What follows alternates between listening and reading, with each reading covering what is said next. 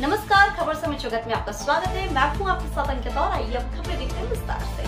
धार, नागरिकों को शीघ्र सस्ता एवं सुलभ न्याय उपलब्ध कराने के उद्देश्य से आपसी समझौते के आधार पर विवादों के निराकरण के लिए राष्ट्रीय विधिक सेवा प्राधिकरण नई दिल्ली और राज्य विधिक सेवा प्राधिकरण जबलपुर के संयुक्त तत्वाधान में जिला एवं सत्र न्यायाधीश अध्यक्ष संजीव कुमार अग्रवाल की अध्यक्षता में शनिवार को जिला न्यायालय परिषद धार नेशनल लोक अदालत आयोजन किया गया। लोक अदालत का उद्घाटन धार में जिला एवं सत्र न्यायाधीश अध्यक्ष संजीव कुमार अग्रवाल द्वारा दीप प्रज्वलित कर किया गया। प्रधान न्यायाधीश अग्रवाल ने अपने संबोधन में लोक अदालत की महत्वता पर विचार व्यक्त किया। किए जिला न्यायाधीश व सचिव उमेश कुमार सोनी ने बताया कि इस नेशनल लोक अदालत में एक हज़ार इकतीस लंबित मामलों का निराकरण आपसी समझौते के आधार पर किया गया, जिसमें तीन व्यक्ति लाभान्वित हुए और सत्रह करोड़ बावन लाख से अधिक रुपए के अवार्ड पारित किए गए। साथ ही दो प्री लिटिगेशन प्रकरणों का निराकरण किया गया, जिसमें कुल एक करोड़ छियानवे लाख से अधिक की वसूली हुई और दो व्यक्ति लाभान्वित हुए। जिला न्यायाधीश व सचिव सोनी ने बताया की इस लोक अदालत में मोटर वाहन दुर्घटना के एक हज़ार एक सौ पचास मामले रखे गए थे, जिसमें दो सौ चौहत्तर मामलों का निराकरण आपसी राजीनामे से किया गया, जो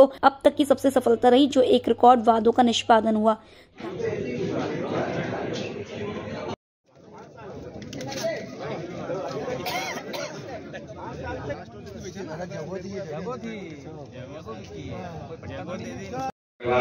अध्यक्ष जिला प्राधिकरण के मार्गदर्शन में हम आयोजित कर रहे हैं। उनका इस कार्यक्रम और ये राष्ट्रीय पर्व राष्ट्रीय लोक अदालत का आयोजन किया जा रहा है। यह आयोजन राष्ट्रीय विधिक सेवा प्राधिकरण नई दिल्ली, राज्य विधिक सेवा प्राधिकरण जबलपुर एवं इलेक्ट्रिसिटी एक्ट वाले हैं प्री लिटिगेशन हैं, और विभिन्न प्रकार के अन्य प्रकरण भी हैं नगर पालिका वगैरह के नेशनल लोक अदालत का जो उद्देश्य उससे आप सभी विदित हैं।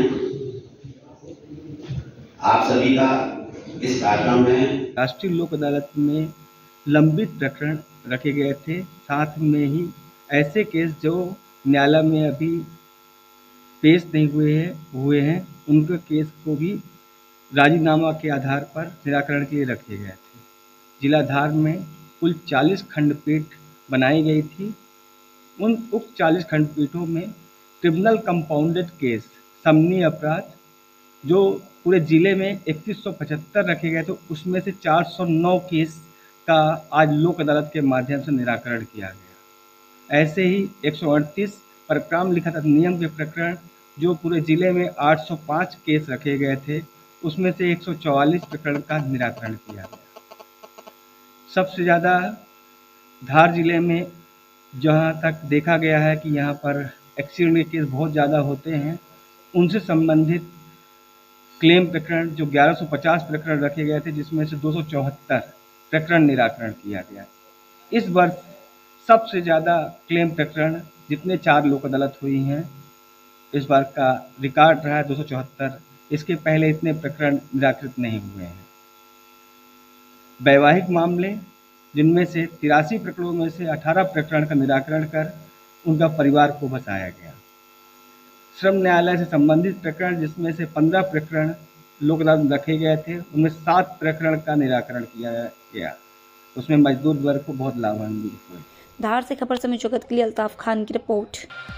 For latest news subscribe to our channel and press the bell icon